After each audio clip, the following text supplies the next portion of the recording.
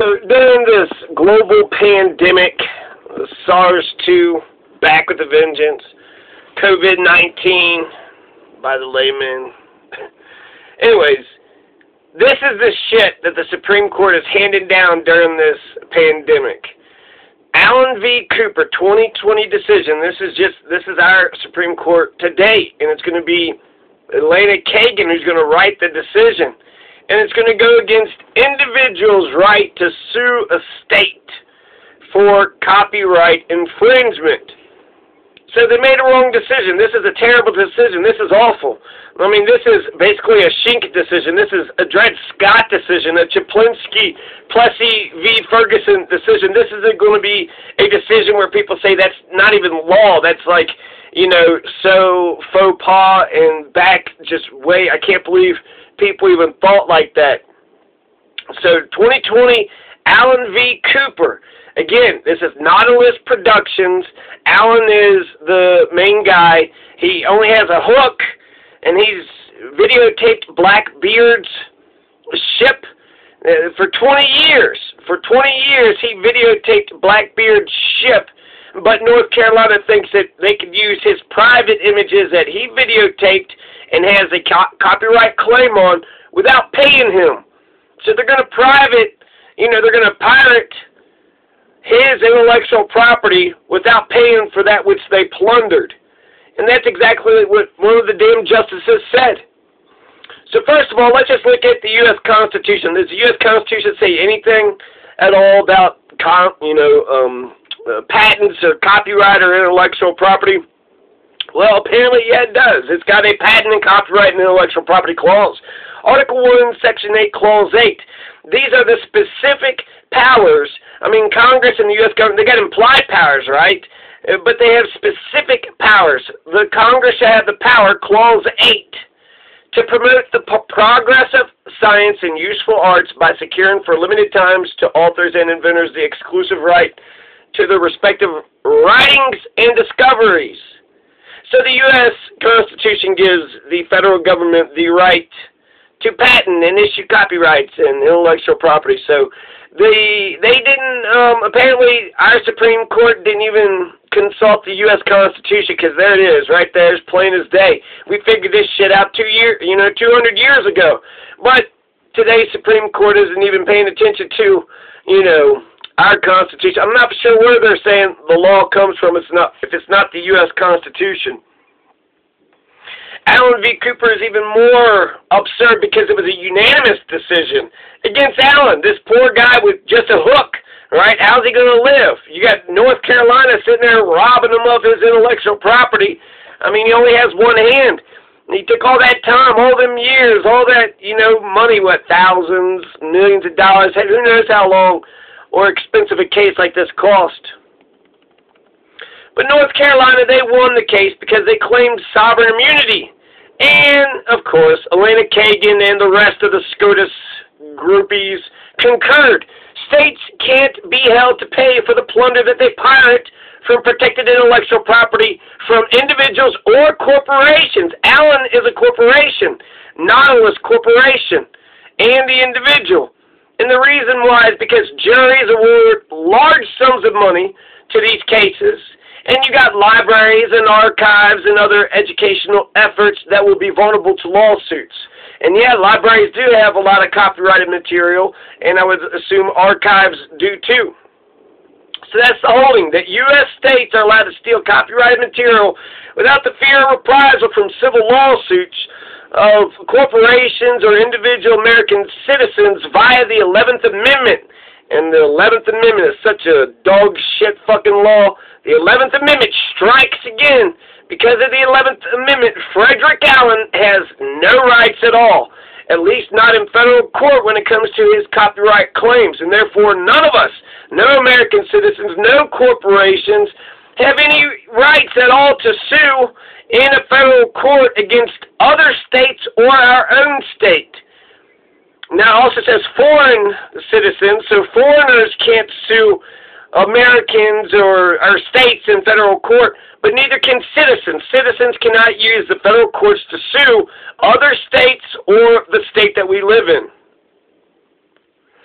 So, yeah, states can sue individuals for stealing their intellectual property, but the individual can't do the same in federal courts. Therefore, North Carolina can pirate your stuff, but you cannot pirate North Carolina stuff because they're a bunch of hypocritical pieces of shit. So now, Colorado, Utah, Hawaii, the state of, the government, the corporation, however you want to, you know, describe the governor and the court and those, you know, they are now allowed to steal Disney's copyrighted material, stream them on their state's websites because corporations, individuals cannot sue a state in federal court. The Commerce Clause that abrogates sovereign immunity from the state. Sovereign immunity? What the fuck? Sovereign immunity makes sense in like royalist governments with, you know, maybe a constitutional monarchy but sovereignty only applies for monarchies. Nobody has got sovereign immunity in America. The rule of law says that everybody has to obey the law. So that's the rule of law is a benchmark of democracy. The Commerce Clause abrogates sovereign immunity of the states from federal court. So if we're going to entertain this sovereign immunity bullshit, the Bankruptcy Clause, the Commerce Clause, the Post Office Clause, many, many cla- Supremacy Clause, Necessary and Proper Clause, the Bill of Rights exception, where they use the 14th Amendment to enforce First Amendment cases, and other Bill of Rights, the right to bear arms and the right to keep soldiers from staying in your house. So this is a terrible decision, absolutely awful decision. They're going to carry on with the legal fiction that states have sovereign immunity. Now, the 11th Amendment I, I'm afraid that it's, you know, it could be consistent with the 11th Amendment. I don't know. We're not going to talk about the 11th Amendment for right now. Just put the 11th Amendment off to the side for right now. In the U.S. Constitution, it says that Congress has a right to, you know, pass patent laws. In fact, they've been passing copyright laws for 200 years. There's 1790. There's a copyright law. For, so for the most of the hi- history of America, copyright law that Congress passes is the law of the land. But for the past 26 years, in modern and postmodern, in the 2000s, in the millennium, the Supreme Court has been looking at the 11th Amendment and saying, yes, states have sovereign immunity. Sovereign immunity. So, Frederick Allen. I want to talk a little bit about Frederick Allen. And then I want to talk about 1819 McCulloch v. Maryland. There's another thing that says the federal government has power over the states. Yes, the federal government is allowed to create the Bank of America, and it can land it right on Maryland, and Maryland cannot tax it out of existence. So therefore, the federal government in McCulloch v. Maryland, 1819 Supreme Court case, said that the federal government has more power than the states because of the supremacy clause, and necessary and proper, implied powers, a whole bunch of shit. So there's a Supreme Court case that also, you know, pokes a hole at this stupid, dumb, just Allen v. Cooper, 2020 Allen v. Cooper case. So what are we talking about? What is this, you know, Allen v. Cooper? So it's Frederick Allen. He's got a hook for a left hand, so he's Captain Hook. So Captain Hook, he had an oxygen tank exploded, blew off his left hand. It happened 13 years after he did deep scuba diving for the Blackbeard pirate ship. And and then it was in his garage. So it had nothing to do with his, you know, scuba diving, but it is an unfortunate accident. Now SCOTUS just kills this case.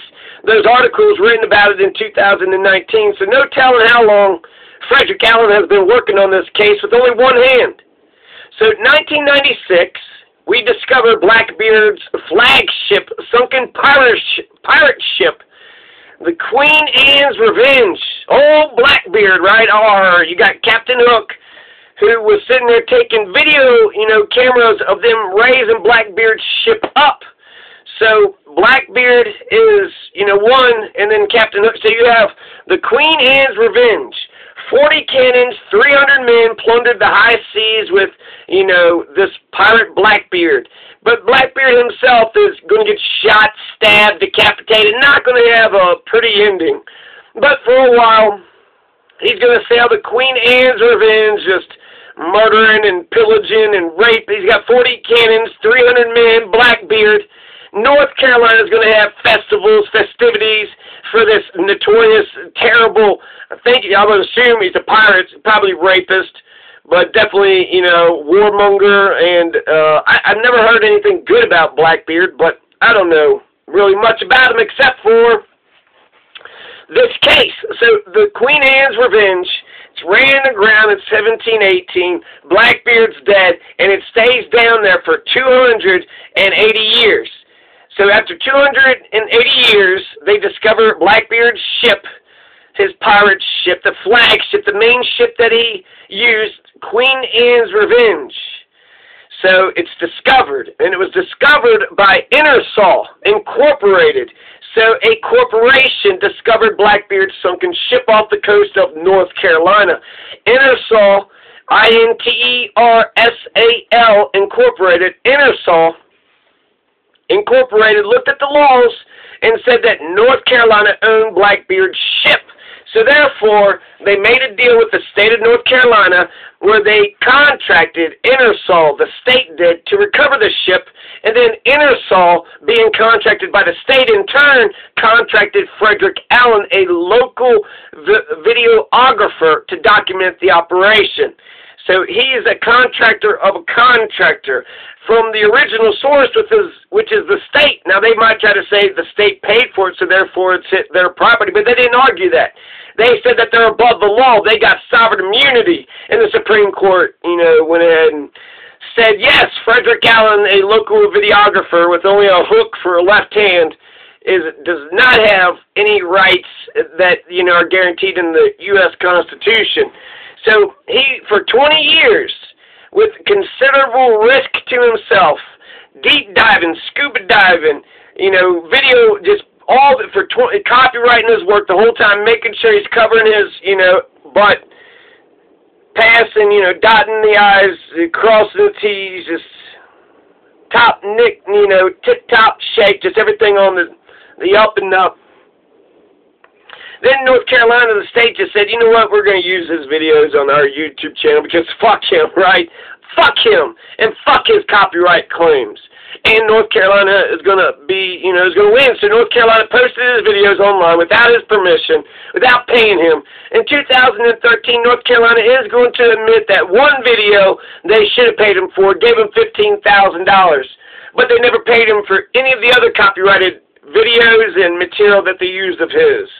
And then eventually they're going to pass a state law retroactively covering their asses.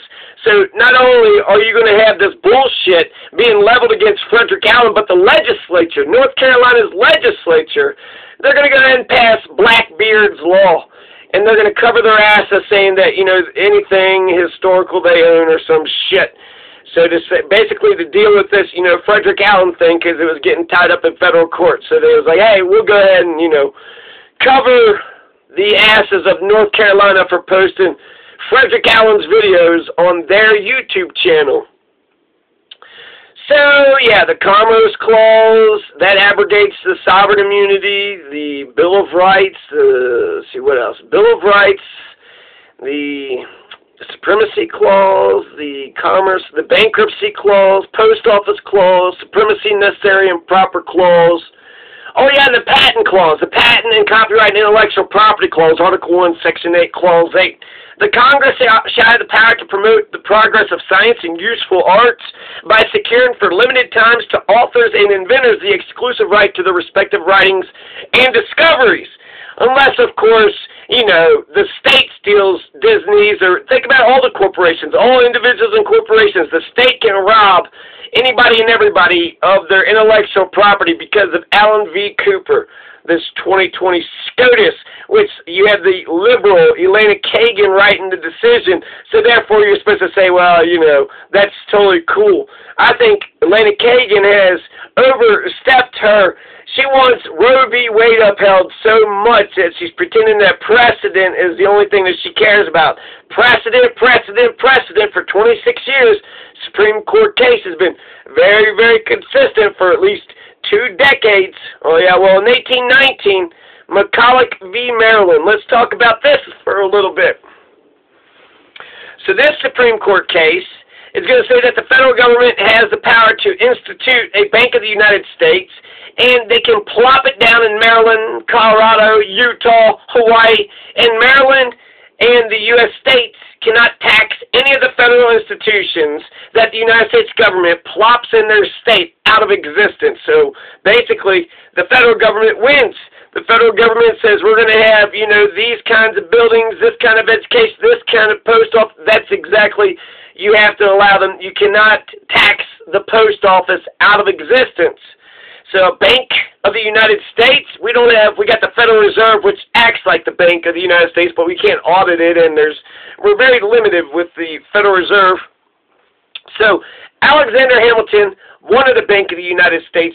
Thomas Jefferson said that the Bank of the United States had no constitutional authority, and Madison at first was against it. So they're going to have the first U.S. bank. This is about the second U.S. bank. The first U.S. bank is chartered in Philadelphia, 1791, under George Washington, the first president.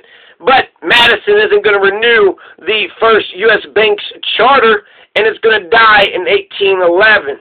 So it was in existence for 20 years, the first U.S. bank, and then it just dies. And then 1816, five years later, Madison changes his mind and he signs the second U.S. bank back into law because you had the War of 1812 to pay for. So he had to pay for the War of 1812, the debt, and therefore we need the U.S. bank and we need to start taxing Americans and getting the money and all that. So now the Madison is going to sign U.S. Bank back into law. It's a Congress passed law. Madison signs it, and then they plop it down in Maryland. Hence, 1819 McCulloch v. Maryland. So, bank charters, taxes, power struggle between the state's federal government. Lots of fun elements here. Congress passed an act in 1816. The second bank of the U.S. is put down. A branch is put into Maryland. Maryland's pissed off. They pass a law the state of Maryland, right? This is back when it was just a collect a confederacy of states and not a union of states. So Maryland passes a law putting a fifteen thousand dollar annual tax on all of the out of state banks, any foreign banks in Maryland. There was only one out of state bank at the time. That was the second bank of the United States. So they're going to tax the second bank of the U.S. fifteen thousand dollars. So you know, bravo to Maryland for thinking that they had the power, but McCulloch v. Maryland says they don't have the power. McCulloch refuses to pay Maryland's tax because it was illegal, it was unconstitutional. They're not allowed to do that. Maryland sues McCulloch, and they had won at first. But then it goes to the Supreme Court, and yes, the U.S. Constitution allows for the creation of a Bank of the United States, and no, Maryland and the United States cannot tax any of the federal institutions out of existence. Lil John as Mr. Beat says, Chief Justice John Marshall explained implied powers, necessary and proper supremacy clause. So he's saying even though Congress and, you know, all the powers that Congress and the President, all their powers are specifically spelled out in the Constitution because of the necessary and proper clause, anything that they believe is necessary and proper for the proper, you know, and necessary institution of government amongst the American people, they have that power to do too. So they have implied powers. And part of the U.S. Bank to deal with taxes and the money of the government, it seems like there's a logical consensus implied. Is it necessary and proper? Yeah, if it's instituted, you know, with the, the books always being open and it's democratically elected and it's, you know, is democratized. So the U.S. bank law is fine. Wait, what? Chief John Marshall, he had a quote, the power to tax is the power to destroy. And so the Maryland can't tax the U.S. bank. The U.S. bank law that Congress passes is fine. The federal government upholds the federal government's institutions, right? The federal courts upheld the power of the federal government to override the state government. Big shocker, the federal court sided with the federal government over the states, but Maryland can't tax the U.S. bank. Federal laws are supreme over a state law. So because the Constitution, we have the patent law, and then they passed some 1992 law. So not only do you have the Constitution on the side of Frederick Allen, not only do you have the U.S. Constitution, but you also have a Congress-passed law in 1990, Papa Bush. So George W. H. W. Bush is going to sign uh, the 1990 Copyright Remedy Clarification Act. This is going to be overruled or some shit, judicial review, Marbury v. Madison. But Congress, the legislature, they pass a patent law. The U.S. Constitution says they have a right to pass patent laws, but somehow the 1990 Copyright Remedy Clarification Act is going to get struck down. And because it gets struck down, this is going to start this avalanche of this uh, judicial push, this overthrow, this coup d'etat of precedent. You want to talk about precedent? we had a copyright law for 200, 300 years in this country, and then 20 to 30 years. So the precedent, overwhelming the people might say, well, you know, the, the slaves and the. It, it comes down to if it's good law or bad law. It's only 20 fucking years. You're going to say the precedent of 20 years overrides two to 300 years? It doesn't seem like those court cases, they were trying to overturn public opinion about it, but they're just kind of, you know, meandering out loud. And then people are like, wait a second, maybe there's something here. Now there's something there because of 2020 Allen v. Cooper. This is, you know, the Roberts Court. Elena Kagan, unanimous decision. Incredible. Unanimous decision. Unanimous. Is it okay for North Carolina to steal your intellectual property, whether you're a corporation or individual, and can you sue them in federal courts? They're, it's okay for them to do it. You have to use their own courts to sue them, and of course, the state courts are going to defend the state power of, you know, infinite, infinite, absolute, sovereign, immune power to do anything and everything. Immunity. That goes against the rule of law. Fucking immunity. Nobody, nothing has immunity in America. Nothing, nobody has immunity in a democracy. Get the what are this? Uh, North Carolina retroactively passes laws, so the whole legislature is involved in this conspiracy. They all conspired against Frederick Allen to fuck him out of his. What? How much money do you think? A hundred thousand? Pay him his hundred thousand. How much did all the? It cost them millions of dollars to fight this case, but they just to save a hundred thousand dollars. Breyer, Stephen. Stephen Breyer, I think Justice Breyer, he even mentioned states who pirate copyrighted material should pay for which they plundered. But he's going to concur anyways, because, you know, his hands are tied. Stare decisis, stare decisis, all that Latin phrase. Any old Latin phrase, you know, quid pro quo. If you just say a Latin phrase, you automatically, that's the law of the land. Any random-ass Latin phrase, Elena Kagan, what is she doing? you know, she thinks that what precedent, loving precedent, is going to make them love Roe v. Wade anymore. No, those conservative justices are just biding time. They'll go ahead and uh, you know overturn Roe v. Wade if they have a good bill. So admitted that Congress explicit passed uh, uh, legislation. So Elena Kagan knows about that. You know, Congress passed the 1990 patent law there's a I don't know if she knows about the Constitution, the patent clause in the you know Constitution. But she says, you know, for 26 years, the federal courts have been fucking over the individuals and corporations whose intellectual property is robbed by the Leviathan, the all-powerful Leviathan state, which has a monopoly of violence and they can do no wrong, right? There's some Latin phrase, the king can do no wrong. That's actually the unitary vision of government, right? Nixon. If the president does it, it's not illegal. He didn't get in trouble for any of his shit.